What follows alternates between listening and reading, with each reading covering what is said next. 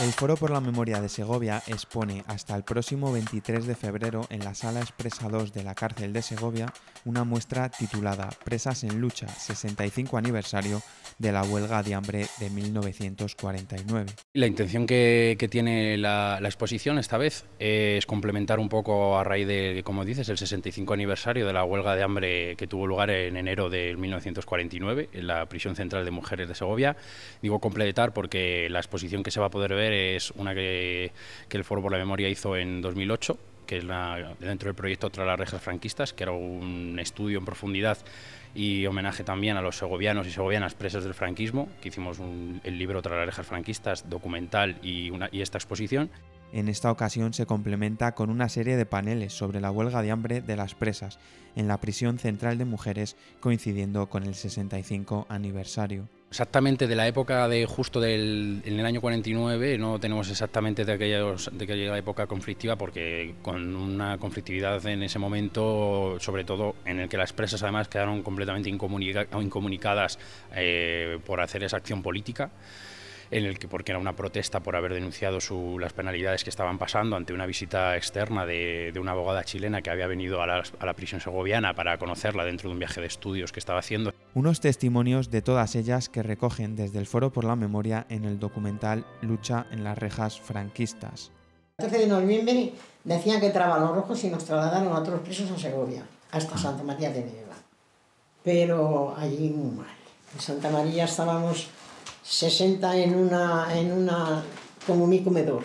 Ah. Eran tres, tres celdas y las quitaron los tabiques y en, en, en, marzo si no abren todas caemos malas, porque estábamos, pues eso, como intoxicadas, como de, de que no recibíamos aire. Los paneles y fotografías expuestos profundizan más en la injusticia y el sufrimiento por el que tuvieron que pasar las mujeres en las cárceles franquistas.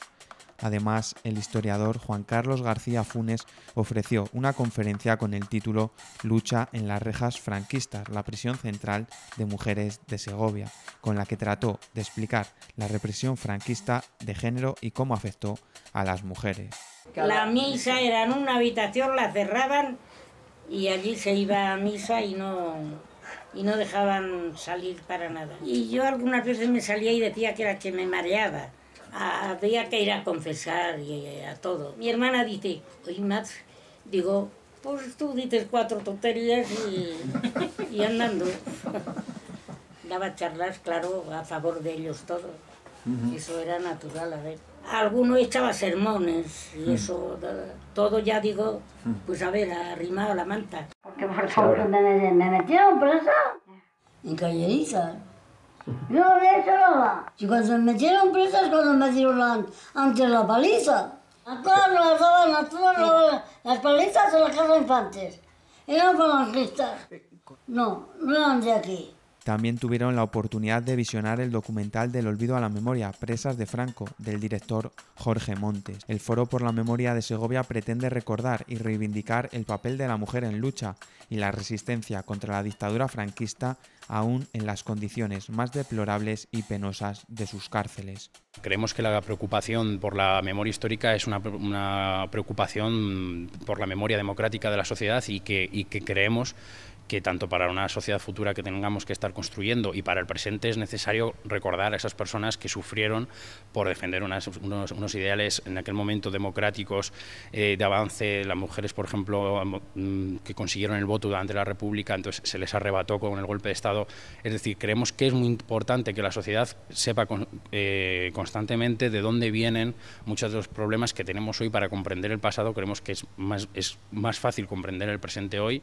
El impulso organizativo de las mujeres sirvió para luchar por los derechos y pese a ese pulso ante las autoridades represivas, las presas defendieron su dignidad e identidad como reclusas políticas.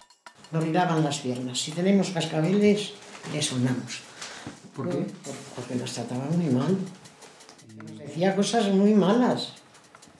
Pues que nos tenían que matar a todos, que teníamos que estar todos todos debajo de la tierra, que tal, que cual, que cual, muy malo. Ir todos los, todos los sábados a, darnos la plática.